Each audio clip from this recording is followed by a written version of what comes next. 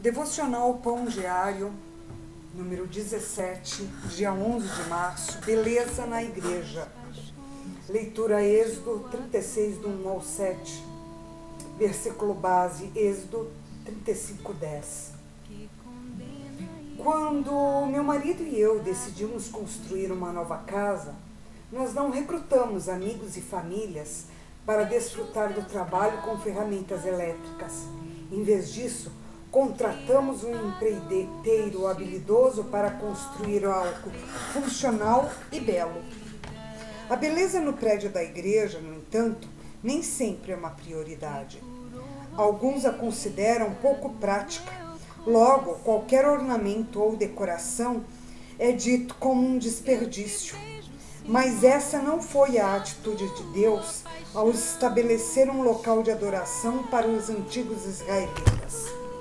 Ele não recrutou qualquer um para montar uma tenda comum.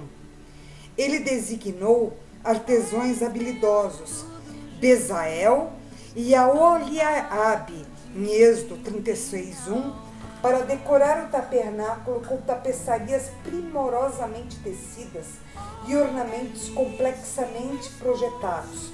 Pode verificar em Êxodo 37, do 17 ao 20.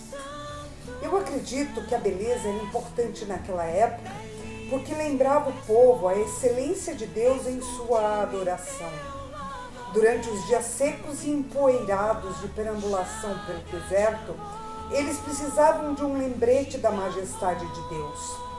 A beleza criada pelo povo de Deus em ambientes de adoração nos dias de hoje pode atender o mesmo propósito. Oferecemos a Deus os nossos melhores talentos porque Ele é digno. A beleza também nos dá um vislumbre do céu e aguça o nosso desejo por aquilo que Deus está preparando para o nosso futuro. A beleza reflete a Deus.